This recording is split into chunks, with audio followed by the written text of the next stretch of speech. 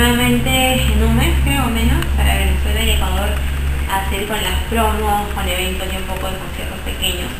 Y feliz de volver a esos dos países que me han abierto muchísimo en las puertas del 2010 y este, encantada de poder encontrarme con los fans. Eh, cuando terminó el año en el puesto número 3 de más pedidos de la radio en Venezuela.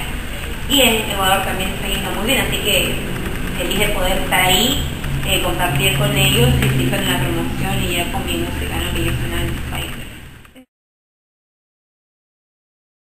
Yo creo que el trabajo es muy duro. Eh, decir un paso difícil, yo creo que a veces la gente no se da cuenta cuánto tiempo llevo trabajando uno yo ido trabajando desde que salí de colegio prácticamente con demos y poco a poco se logrando eh, las cosas.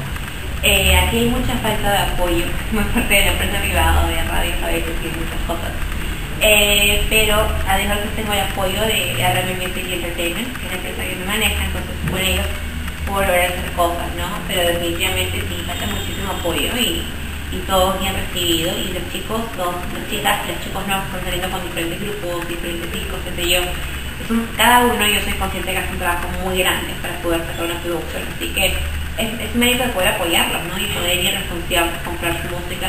Qué mejor, yo digo, de comprar un disco de un peruano, o sea, de un compatriota judío. Qué rico muchísimo haciendo música buena y que le está gustando a la gente y seguir apoyando a la gente. A no la conozco, a, a Nicole he visto en un evento que nos pasamos muy, muy linda eh, y bueno, tiene también acá sacar un disco, tuve la oportunidad de hacer su showcase el año pasado en diciembre que me gustó muchísimo. Y eso, ¿no? El hecho de poder apoyar a los artistas que son eh, compatriotas y que son igual que yo. Y es rico poder ver que en un concierto esa gente, colegas tuyos ahí yéndose a apoyar, es muy bonito. Así que yo tengo la mejor de, de las vibras para, para todas ellas.